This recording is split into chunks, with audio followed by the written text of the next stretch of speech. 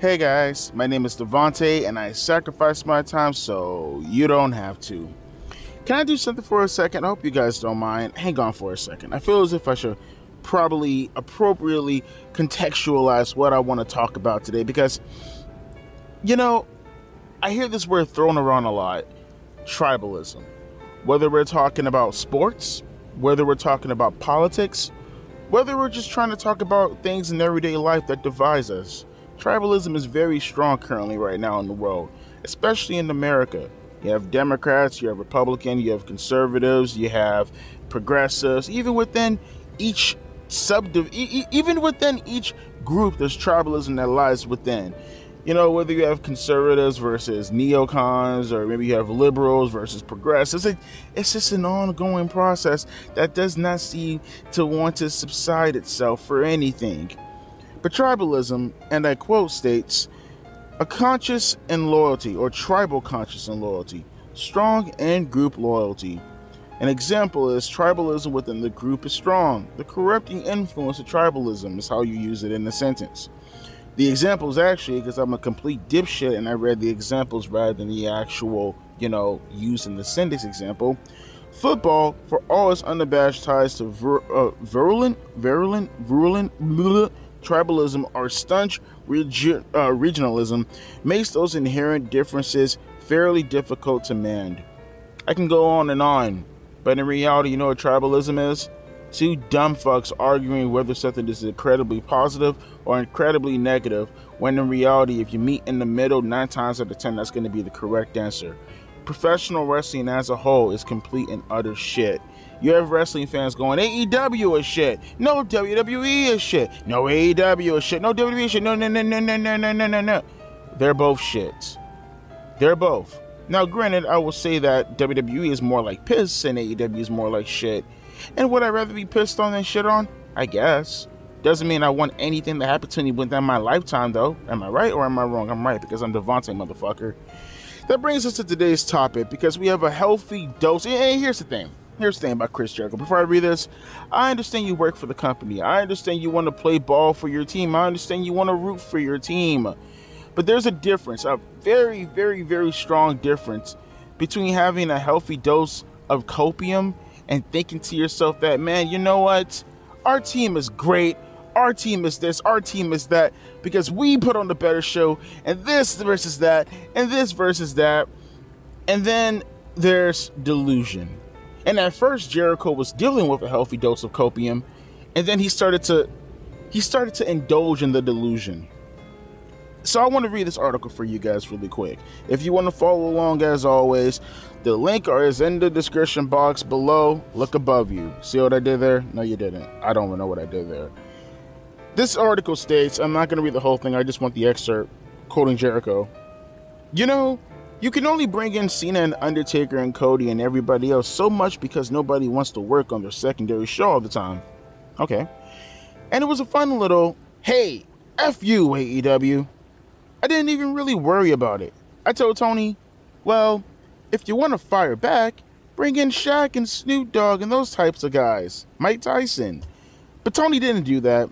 We relied on our show and our guys and our girls, meaning WWE's ex talent, and that's the way it's always been for us. This would be like a football game where you bring in all your top stars for years prior and beat the other team 30 to 26. It's like a video game. Let's bring in Tom Brady from five years ago and then play him for, for one game against Chris Jericho. Okay, you guys won, but you only won 30 to 26, he said. now, you see, how the copium just gradually starts to increase and increase and increase and it breaks through that threshold of complete and utter fucking delusion. But it gets even better. You think it's done? No, it gets even better. Jericho closes out this statement, if you will, by saying, and I quote, So don't get too far up your own ass because you didn't do that good of a job as far as crushing us. And our show was better than theirs, quite frankly. So it doesn't bother me it's competition, man. It's good for the fans, man. It's good for the companies, man. Okay, he didn't say man that many times. I just envision Jericho probably saying that like while he's actually talking his sentences. Drink it in, man. That's my old YouTube handle, by the way. so that closes that out. And like I said, it's one thing to think highly of your team. There's another thing when you start to put yourself in the same grace as Tom fucking Brady, Chris Jericho. And by the way, this whole this whole little narrative he wants to put out there, oh, we beat them 30 to 26, as if they would insinuate that they won by a field goal. I mean, what isn't field goal like three points? Even burst. You gave me uneven numbers. What are you trying to say, Jericho? No, fucker, you didn't lose 30 to 26. If you had to actually say it, it was more like mm, 72 to maybe 26. That's that's probably what it's more like. It's more like 72 to 26. May I remind you the actual score in regards to the viewership numbers, Jericho? I can't remember the ratings, but I damn sure remember those viewership numbers. Not exactly, not directly. I'm missing the point here. It was 900,000 plus via NXT and 600,000 plus via AEW. And mind you, it wasn't like 690,000 versus 900,000. No, no, no, no, no, no, no. It was like 900,000 plus going into the 30s and the 40 range versus the early 600,000s, meaning you got your ass cheeks clapped, brutally clapped by well over 300,000 views, Jericho. There is no 30 to 26. You got your ass smashed. There was no winning by a field goal. You got your ass smashed. There is no winning by a safety zone tackle and then like you get points from it. No, no, no, no, no, no. It was touchdown after touchdown after touchdown after touchdown. And mind you, I agree with Jericho. Personally speaking, I thought AEW that night was better than NXT. Not to say that that was anything worth you know bragging about, because I thought both show I thought both shows that night sucked. Regardless, go check out my NXT review and AEW review. Grow some hair on your balls. But like overall, like they they both sucked. I just thought AEW was a better show than NXT, and by and barely. If it wasn't for that last segment with Edge and Christian, all that hullabaloo that broke loose, then NXT would have took it for that night. But what I'm alluding at is the fact that Jericho's seeing all this bullshit, while at the same time, the majority of the people that I hear talk about the tribalism, it usually comes from the AEW faithful. Not the fans, mind you, because they're usually locked engaged in battle, Spartan versus Spartan, Roman versus Roman. And I'm not talking about Reigns locked horns and and, and, and long poles with sharp objects on the end of it. They're locked in battle with AEW and WWE like they fucking got paid money to do so. it's your side, AEW, that usually likes to pour fuel on that fire of tribalism. Not just Jericho, but even your boss, Tony Khan. He did that last week. He was running down some tweets. Dude was looking at his feet. Thought he was looking at his meat, but it was a little bit obsolete. Look, here's the thing. Here's the thing. Personally speaking, personally speaking, I'm the kind of guy that likes to bring receipts. Because you probably people are like, what are you talking about, Devante? No one on AEW shots ever talks about the tribalism. You're just nitpicking. No one talks about that. See, that's why I got links down in the description box below. I want to kind of give you guys a little bit of an excerpt from MJF and Adam Cole that talks about the so called tribalism that prolongs into professional wrestling and won't succeed unless one company perishes in the mind of the average dumb fuck wrestling fan. Again, like always, I'm too goddamn lazy to read the entire article, so follow along the excerpt, you stupid fuck. There's this weird thing going on in professional wrestling where all I see as fans online, the way they communicate with each other, it's like an all out war, Friedman said. MJF, obviously. If you didn't know, just go look at last week's show with Freeman written on the quarters by, you know, Saddam Hussein. Oh, excuse me, Adolf Hitler. Oh, excuse me, uh, Juice Robinson. Just so you guys know, what's not what's uh, that's not what's going on with the wrestlers. We're all rooting for each other on on. Excuse me, whoa, what the hell? We're all we're all rooting each other on because realistically, the better the two companies are doing, the more money we're gonna make. So, like, stop arguing. We're all having a freaking blast. I'm watching LA Knight and Cody Rhodes every week and I'm having a blast. Just like I know everybody else is having a blast. Just like I know that there are fans out there watching having a blast. No, they're not. Better than you, baby. Having a blast every single week. He added. There's so much great professional wrestling going on, and there's more than enough room for it. Clearly, because AEW is about to have the biggest crowd. This is not hyperbole. The biggest crowd ever in the history of our sport. That is hyperbole because that's not true. And I'm headlining it. When I think about it, that's insane to me. That's going all the way back before um, All Out, obviously. Man, they really love to exaggerate, don't they? 30 to 26. No, it was a complete blowout. Ah, we're going to have the biggest crowd in wrestling history. No, you went out of your way to inflate your numbers. That's how badly you did in regards to your prediction with the numbers in itself. I digress, digress. Put your foot in your mouth, Jericho, because the people that actually talk about the tribalism and why it's so bad are usually the ones that are engaged with in the practice in itself. Here's the thing that I feel AEW should do because in reality, you're coming up on 2024 and Triple H is in full throttle creative now. It's been confirmed, and what we're seeing within the product right now, it is confirmed. And it's not like Vince McMahon is in a position to put himself right back into said position. You got that Ari Emanuel dude who pretty much made Triple H the go-to guy in regards of what the product is currently going to be engaged with, creatively speaking. And in my opinion, people can sit here and they can shake their hands and disbelieve and go stare in the mirror and wonder about their lives and where the fuck is going because I happen to have a disagreement with them. Triple H is a better booker than Vince McMahon curling at the moment. Triple H is better at production and creative overall at the moment. Production, what I mean by that, is actually producing the skits, producing the promos, producing all the things that are usually going within prof- professional wrestling. Uh, sorry about that. I had to freaking, you know, drown on some pussy juice for a minute. I apologize about that. Uh, all the things that go on backstage. UF, I just actually seen something a couple days ago that talked about the wrestlers and great morale.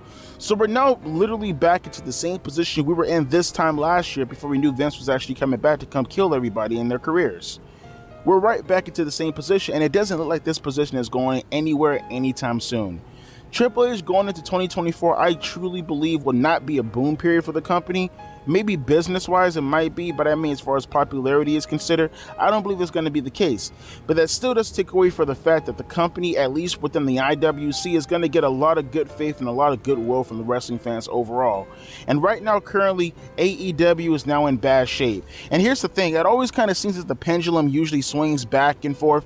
One minute, AEW is doing good and WWE is doing terrible. The next minute, WWE is doing terrible and AEW is doing good. It's been going back and forth like that since at least 2020. But right now, we're in a position with all the stuff currently going on within Triple H's company, and then you constantly see the viewership number falling within AEW Dynamite, where you shouldn't be listening to Chris Jericho and his bullshit. Because all Chris Jericho's bullshit is going to get you is to sit there and then wallow in your complacency. Chris Jericho is the type of father professional wrestling speaking to keep his daughter inside some diapers full of shit and waiting for the wife to get home to change the pamper because he's too busy making some food in his blender because he's a fat fuck. Or maybe he's too drunk to realize that his daughter smells like a million asses. That's the kind of guy Chris Jericho is. He'd rather just sit back and just play stupid, play delusional, and just say to himself, well, here's my opinion that I'm going to try to state as facts. Well, that's not going to help your company, Tony Khan, because going into 2024, I can tell you this much right now. Triple H right now has a chip on his shoulder. Because it's not just Vince McMahon that's probably looking at him. Most likely, people don't want to admit it, but let's just say it family, family, not business is business. I guarantee you that Vince McMahon is probably hoping on Triple H's downfall just so Ariel could put fucking um, Vince back into the position to run the helm of creative again. Because that's that's that's where Vince really wants to be back into. He really wants to run creative. He wants to do the day by day operations because it's in his blood. He doesn't care about money. He has money already. Vince is one of the richest people in the fucking world. Why the fuck does he care about goddamn money? What Vince cares about is power. And Triple H currently at the moment has that power. And whether he's family members with him or not, godson, son-in-law, son and dad, sad-in-law, son-in-law, taboo sex, pure sex, t- pure taboo, whatever the case you want to say, he still wants that power. I would dare say that Vince McMahon cares more about power than he actually does care about the people around him.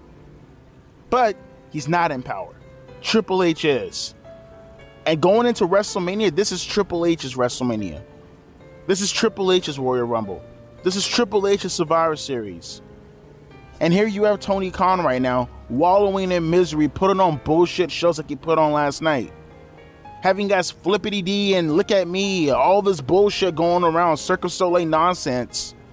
Whereas you have Triple H starting to build up characters to give a reason to the Cirque Soleil bullshit. Shinsuke Nakamura and Ricochet, for an example, probably had the least build going into Monday Night Raw, having the kind of match that they did. Put that on AEW Dynamite, that's probably the second, maybe the third most built feud going on in the show, right behind MJF and uh, White, which is not that big of a deal, anyways, and the actual big feud being Edge and Christian.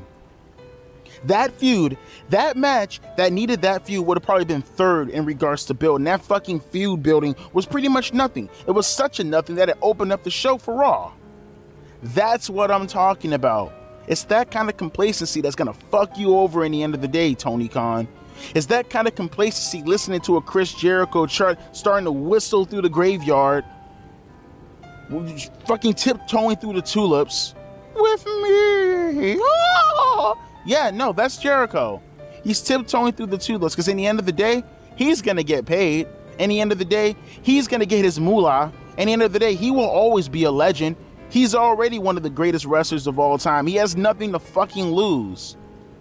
This is his project just as much as it's Tony Khan's project.